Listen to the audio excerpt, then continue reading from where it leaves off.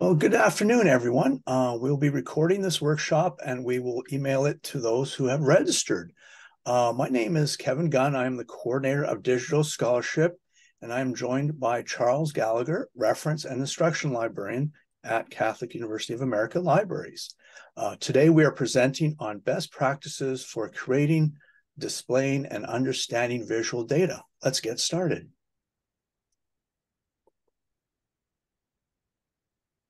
So what we're going to look at today is we're going to do an overview of data visualization, basically the components for bringing together a good data visual.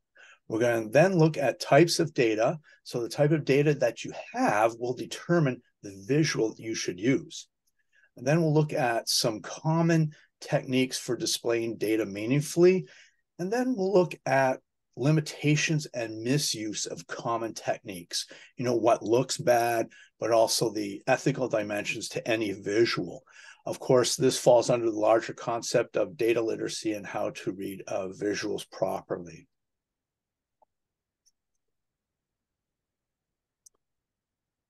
So probably one of the oldest proponents of good visual display is Edward Tufte. Uh, he brought data and design together in a print format. Much of what he wrote about is still relevant today. And good design, essentially, uh, data and design uh, working uh, together. So he has this wonderful quote clutter and confusion are not attributes of data, they're uh, shortcomings of design.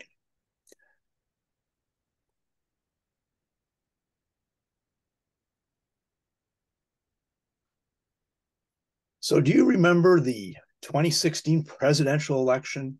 Um, this map was created and framed uh, to demonstrate the dominance of the popular vote for Republicans.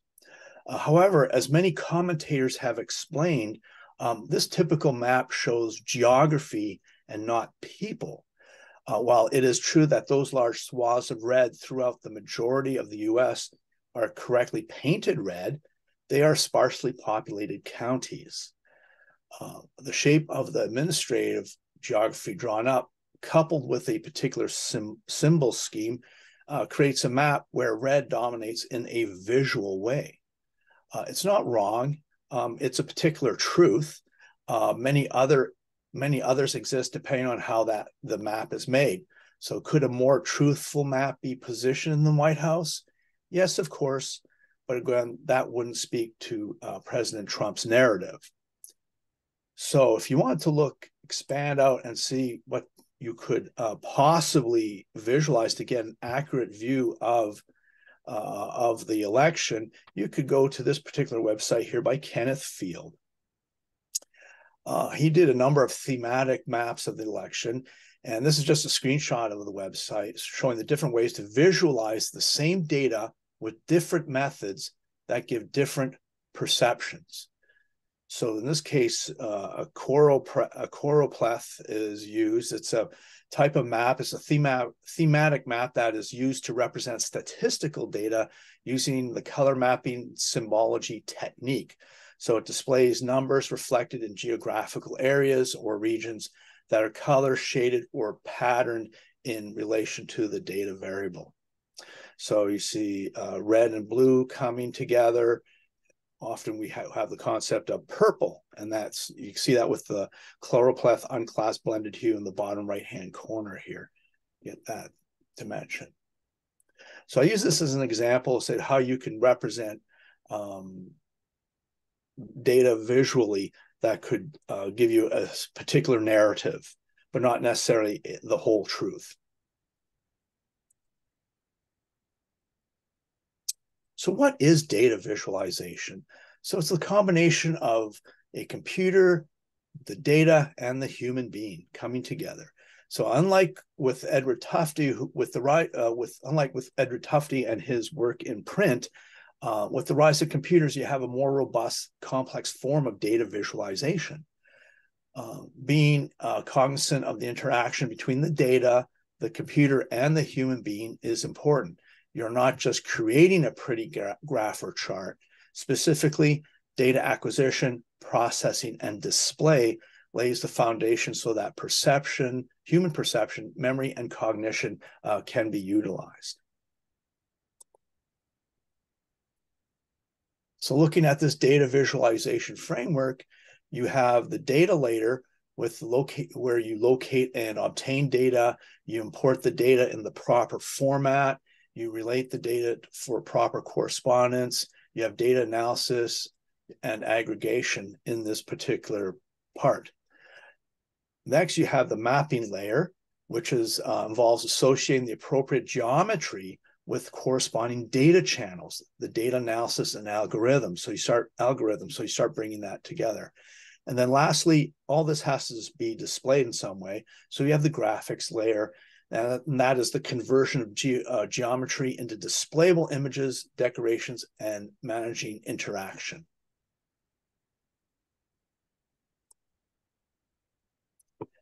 And here's a wonderful chart of the human being as a processor.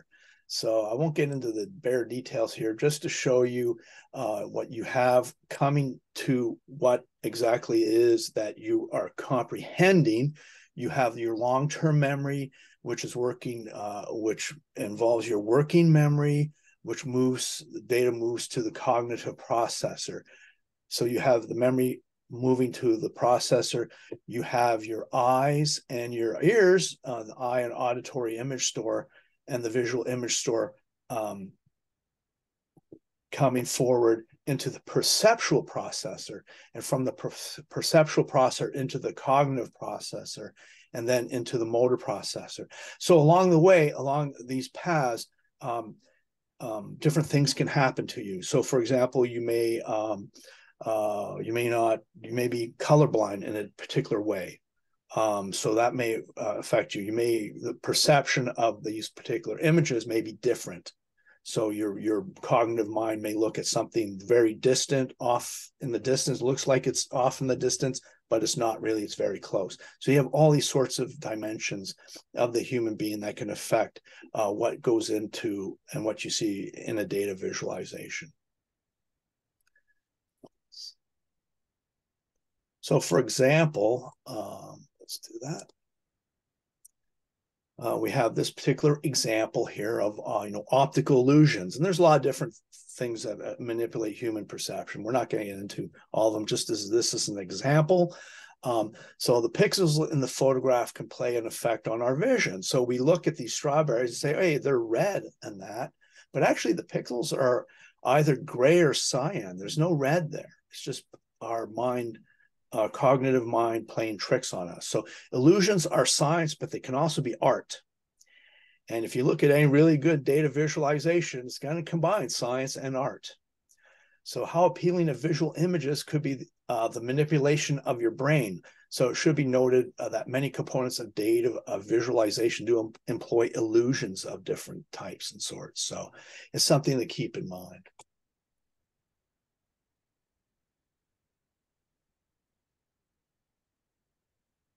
So, what is the value of data visualization? Uh, so, it's regarding exploration. So, we have numbers and columns and rows. You know, uh, what story can they tell us? These numbers.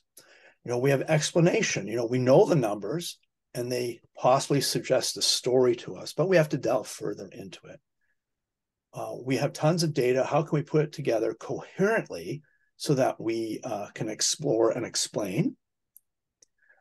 Uh, data visualization helps us see the relationships in data that we would not otherwise see. So good data visualization will not distort. You have to ask yourself, you know, what is the motivation of the creator? You know, are they sharing something? Are they questioning something, promoting something, selling something, that sort of thing. So you always have to keep that in mind and you also have to look at uh, audience audience expectations you know what does the audience need to be successful in understanding? You know how much detail is necessary? You know what are the cultural assumptions listed? You know what are the colors and icons that sort of thing you always have to keep in mind Another aspect of data visualization is the modes of visual, visualization. So there's three main modes here. Um, presentation vis visualization, interactive visualization, and interactive storytelling. So how you tell your story will depend on what mode you use. So this nice little chart uh, sets it out you know, what it is that you hope to use. So in the case of presentation visualization, um, those are quite often an example would be a poster at a conference. So it, it represents uh, images, uh, data brought together, um, but you can't really do much uh, uh with it. Um, the graphic rendering is pre-computed rendering, so you can't do anything with it. It's targeted towards mass audience, colleagues, that sort of thing.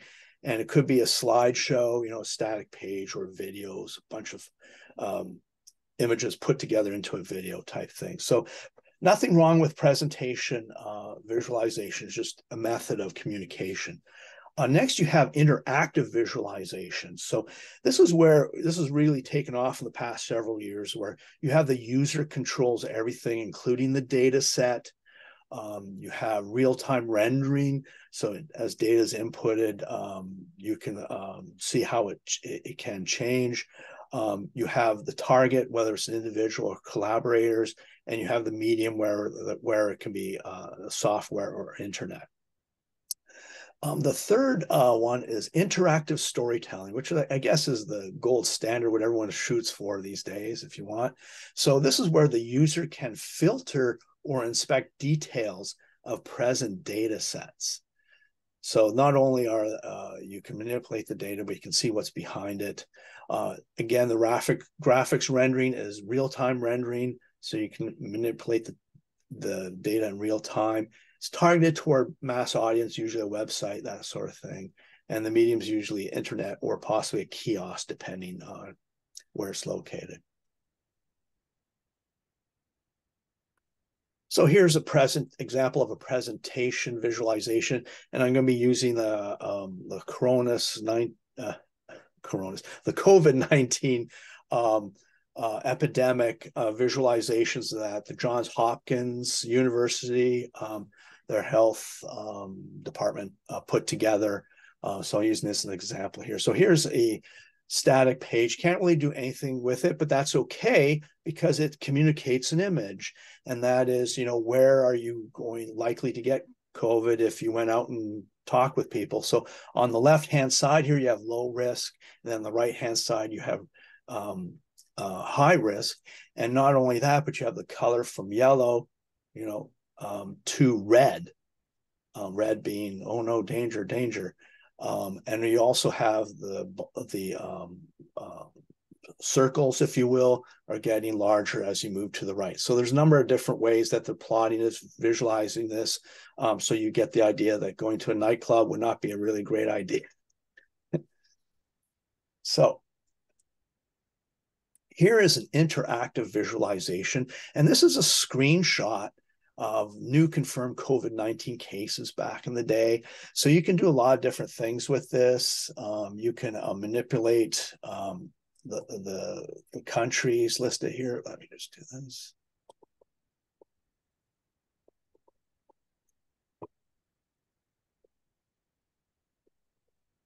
All right. So you can manipulate uh, the data if you noticed. Um, I just did the highlight scaling listed here under the y-axis.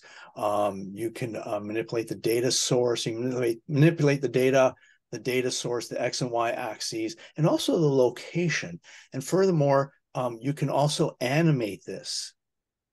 So if you clicked on the animation, it would show the lines going slowly up and that sort of thing. So you can see over time uh, how things uh, become worse.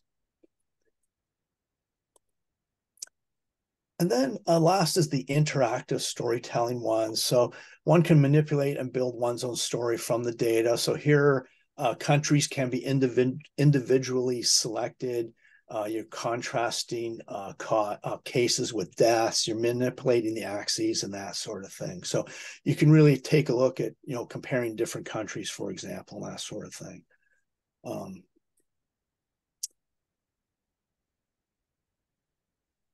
So the question you have to ask yourself, you know, what is data uh, or data?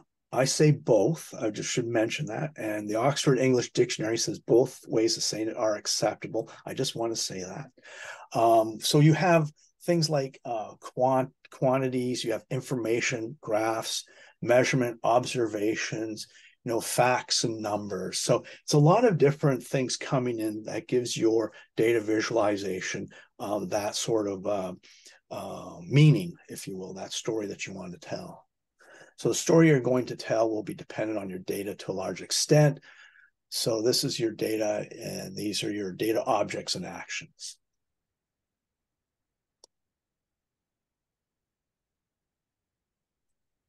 So how do you sort of break this data down? So you have different types of data or variables, and this is just some of the more common ones. There are many, many different types of data listed here. Here we have some of the more, uh, the ones that you'll come across uh, basically in any sort of uh, uh data visualization. You have your, um, you have your, uh, uh, your, excuse me. So you have your ordinal data, which is a logical sequence, you know, gold, silver, bronze, that sort of thing. You understand that there's a process there. You have categorical, so you can look at data that belongs in the same category. So if you're looking at continents, you're looking at North America, Europe, Asia. You have another one uh, called nominal data, and that's data that usually has two or more cat categories, but which do not have an intrinsic order. So shapes are be a good thing. So they're separate, but there, there's not really any order to them. Then you have discrete data that is numeric and that has a countable number of values between any two values. So uh, the number of assemblies would be an example of that. Then you have um, continuous data. So you have discrete data, which are units, if you will, and then continuous where, there, where there's an infinite number of values between any two variables. So a continuous variable can be numeric or or it can be date or time. So, for example, height would be an example of that. So um, to use an example here, um, here we have this A Night Under the Stars example. Um, this is a uh, fellow by the name of Vincent examined uh, data on how people uh, stayed overnight at U.S. parks. And you have the ordinal data listed here, whereas there's a logical sequence, in this case, the months uh, represented here in a circle. Uh, you have the categorical data, and that belongs in the same category. So you had four methods of accommodation. So you had uh, lodging, RVs, uh, tent, and backcountry. And then you have the quantitative data, which is like how much of something there is. So in this case, um, the temperature or how often um, um, people spent the night. So if you looked at the particular uh, table,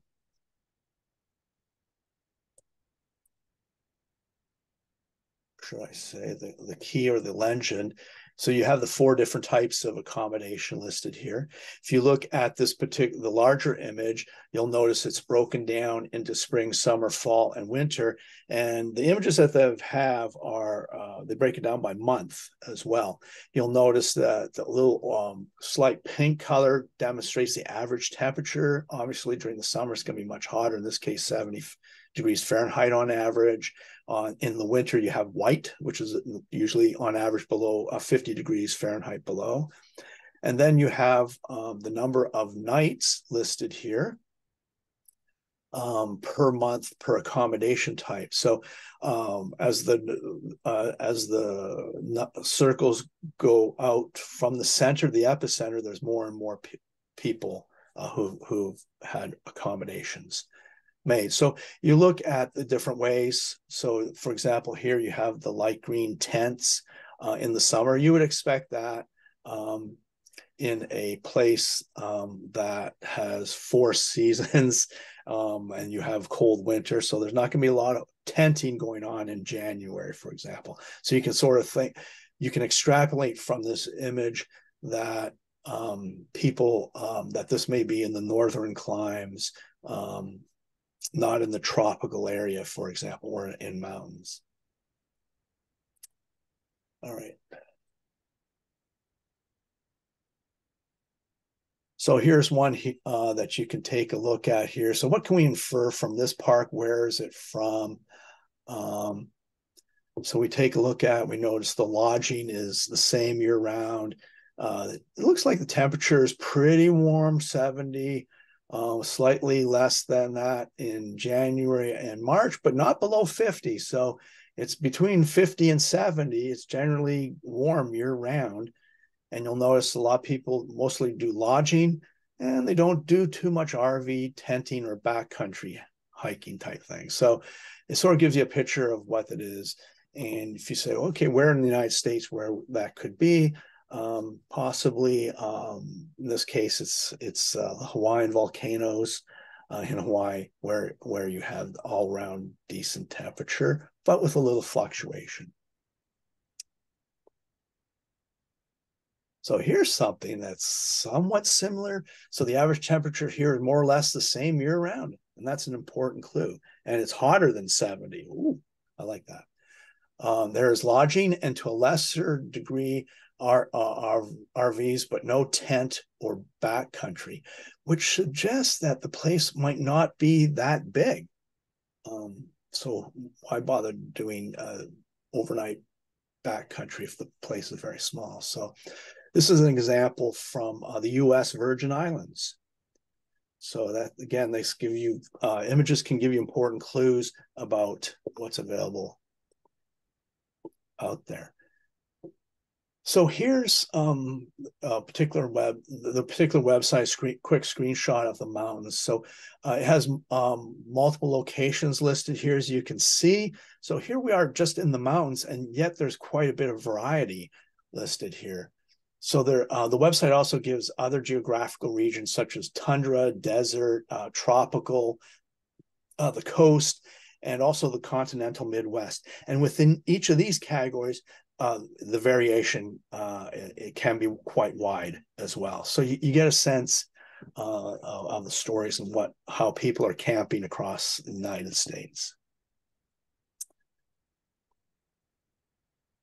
Now, another way to look at your data is we've all seen this, you know, data uh, dependent and independent variables.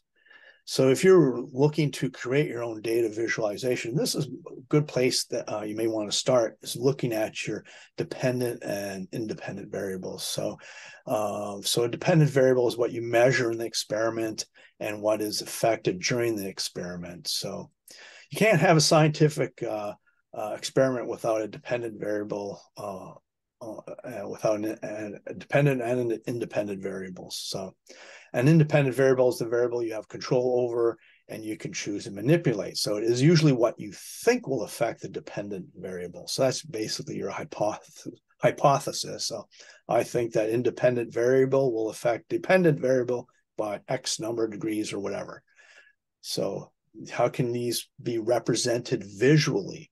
As we go forward here. So we take a look at this chart, uh, in this case, in the example, we're looking at stress and, you know, uh, how's if we increase stress, how does it affect our heart rate? This, create, in, in this case, stress is measured by lifting of weights. Um, so if you take a look at this, you have the independent variable stress affecting dependent variable heart rate. So you manipulate that value, and that dependent variable is that that that which is going to be measured, and then you plot against the x-axis and the y-axis.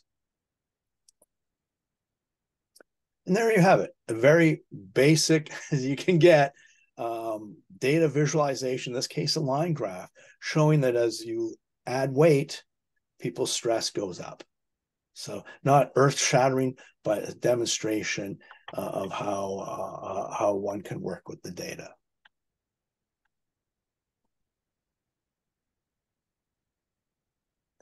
So what are the elements in a data visualization? So you need something, you need to have the title, uh, the introduction and the citation listed. You need to have the measurements, the units, the scales, and the legends. You need the methods of visual encoding, you know, how how are they putting it all together? Then the annotations where are they getting their source material from their data and that sort of thing. So you know it seems like kind of obvious to say this but i believe me when you're looking at a data visualization out there you have to ask yourself okay what is it that they are in fact measuring? What is it that they're trying to convince you of? Is all this all, all these elements present in that particular data visualization. And I can tell you that quite often they are not. All right, so having said that, I'm now going to turn the presentation over to Charles, who will talk about some popular types of charts. So let me just do that. I'm going to stop sharing here. There you go. Thanks, Kevin. Yeah. Okay, so there are a lot of different ways to visualize data ranging from the humble bar chart to the complex tree chart. We will highlight a few of the more common types of charts and why someone may use them. Our list includes bar charts, line charts, pie charts, scatter plots, Gantt charts, and tables. So bar charts.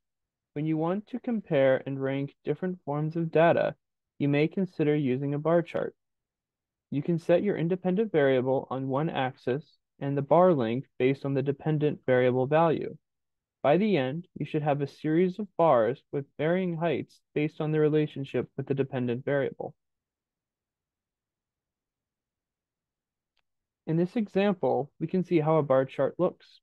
Each of the independent variables, such as energy, transportation, waste, other, and total, are listed on the x-axis, while the measurement of CO2 is labeled at intervals of 500 on the y-axis.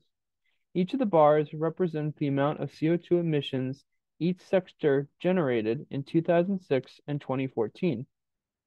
Looking at this chart, the user can quickly learn which sector has achieved the largest reduction in CO2 emissions and also see that the total emissions from all sectors has decreased over the eight-year period. Line charts are useful if you are trying to show how a variable changes over time. The x-axis often shows the increasing change in time, which serves as the independent variable, while the y-axis shows how the dependent variable's value changes over time. Our line chart example, titled Global Surface Temperature, shows different government agencies' measurement of global temperature over a 150 year period. As you can see, each line represents an ag agency's measurement of temperature. As the timeline increases year after year, the temperature rises and lowers in response. From the direction of the line chart, we might conclude that the global temperature has generally been trending upwards over the past 150 years. Pie charts show a proportion of a whole. Each segment represents a proportion of a total, be it a line item in a budget or the percentage of a sample population that likes mint chocolate ice cream. In our pie chart example, we can see the different types of deferred maintenance at the Mount Rainier National Park. By looking at the data as a pie chart, we can easily see that paved and unpaved roads make up the highest percentage of deferred maintenance. Be aware, you should only use pie charts when the difference between each segment is obvious. As a rule, humans are poor judgments of angles, and having like-sized segments can inhibit your reader's understanding. Consider another type of chart instead if the segment sizes are not obviously different. The goal of a scatter plot is to place data points between two variables. You can identify clusters and trends which might indicate that one of the variables has a positive or negative effect on the other variable, such as as x increases, y decreases or increases. This is sometimes called correlation. Our example scatter plot shows the weight and height of a sample of children each point represents the height and weight of a child. From the data presented this way, we can see a general upward trend. As height increases, weight increases, with most of the data points centering between 75 to 110 pounds and 58 to 65 inches.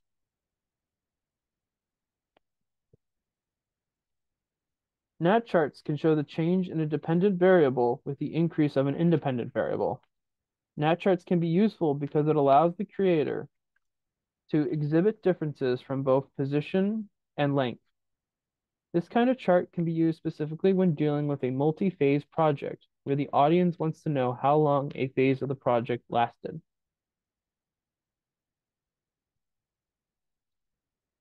In this example of a Gantt chart, we can see the number of days each phase took and how long it took to complete the entire project.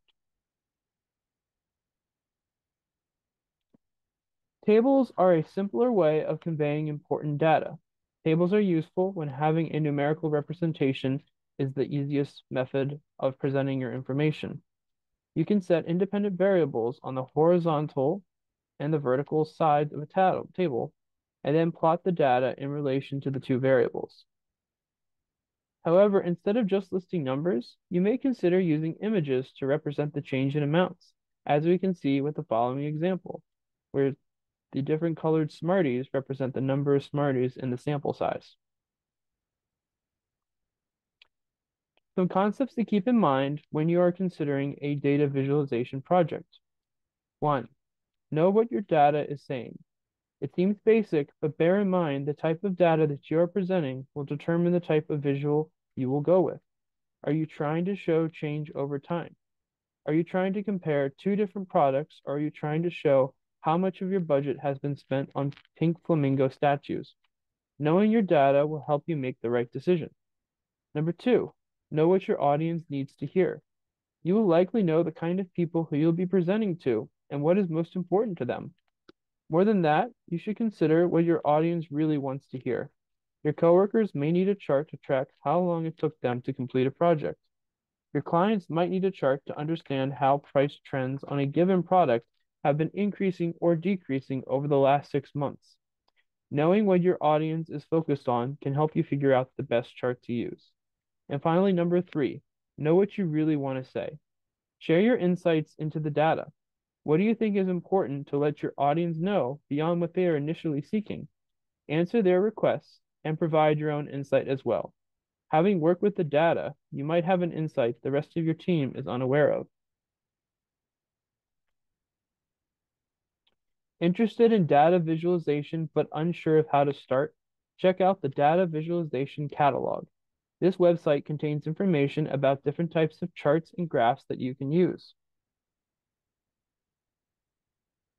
Clicking on one of the icons will bring up basic information on the chart style and examples of how it looks.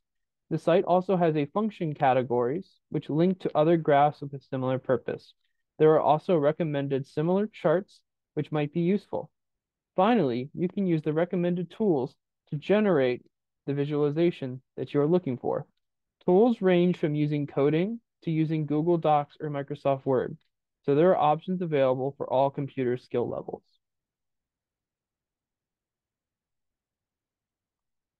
Be aware that as convincing and useful as data visualizations can be, there are ways in which creators have manipulated their data and charts to mislead viewers. We'll cover some of the methods of manipulation. The first is truncated axis. If we look at the bar chart on the left, we see that Library A has circulated more books than Library B and C. However, if you look at the y-axis, you can see that the axis starts at 3,000 books instead of zero. This is called a truncated axis. Instead of starting at zero, the creator started at 3,000 to make it seem like the difference between the library's circulation history is significantly higher. If we look at the graph on the right, however, we can see that when you start at zero, the difference between the library's circulation history isn't as large. There still might be significance to the difference, but we can now better see how much of a difference it really is. Note that as far as we know, the creator didn't lie about the circulation numbers. It's just the manner in which the graphs are presented that has misled us.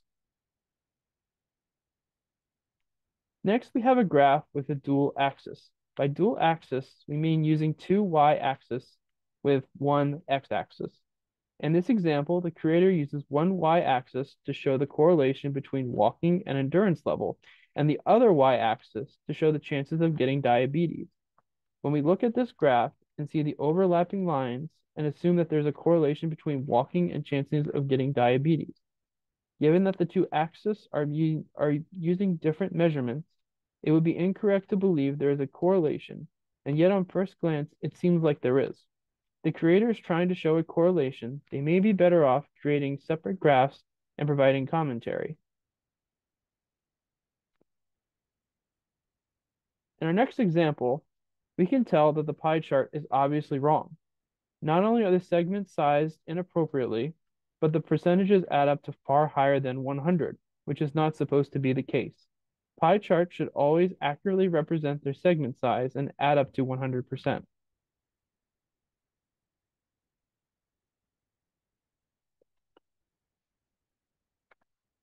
Limited scope.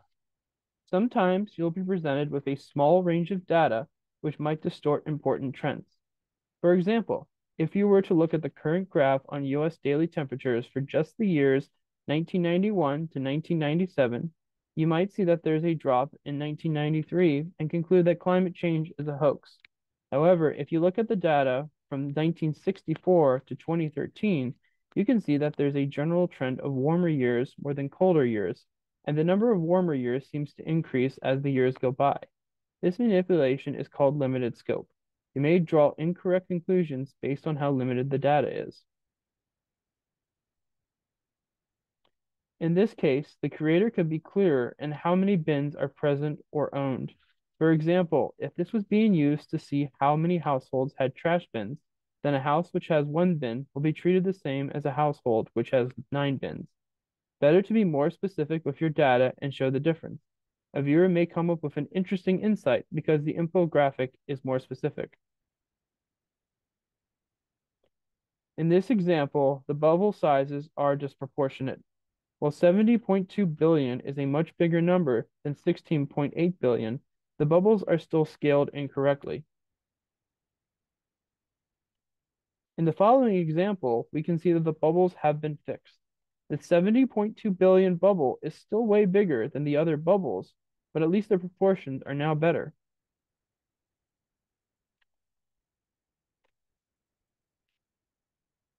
Both the square and the rectangle have the same area size, but there is a big difference in how they appear.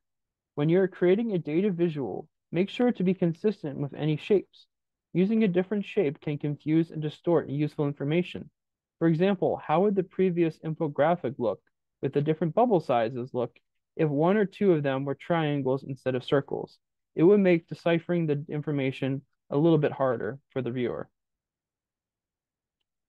As we talked about with chai parts, pie charts, humans are naturally bad at comparing angles. More than that, a graph like this isn't particularly helpful to compare the segments when there are so many. For this kind of data, the creator may have been better off putting these numbers in a table. Remember, if there are more than a couple of segments with obvious differences, a pie chart may not be helpful. So, in conclusion, Data visualization can be an effective way to present data to your audience. This final visualization shows us the various parts that make up a good infographic. You need data, what you are presenting on, design to make the infographic attractive and interesting, shareability, easy for your readers to understand and pass on to others, and a story, what you're trying to say with your data. Together with these elements, you can create an amazing infographic. We hope this presentation has been helpful and encourage you to try your own data visualization projects. Are there any questions? And I'll also show you some of the sources that we used and some of the additional reading that we recommend if you ever get a chance to look into this further. Right. Thank you, Charles. Uh, are there any questions? If you like, you can unmute or put in the chat.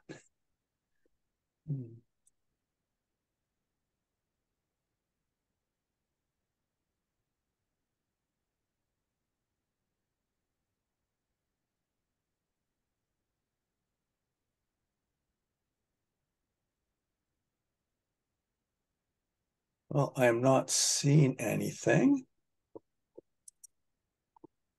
So I guess what we'll do is we'll call it a day, Charles. Okay. Just want to thank everyone for coming out. And once the recording is available, we'll send it out to everyone, and that'll give you uh, better, uh, greater time in looking at our additional readings and our source material. So thank you very much, everyone. Enjoy the rest of the day.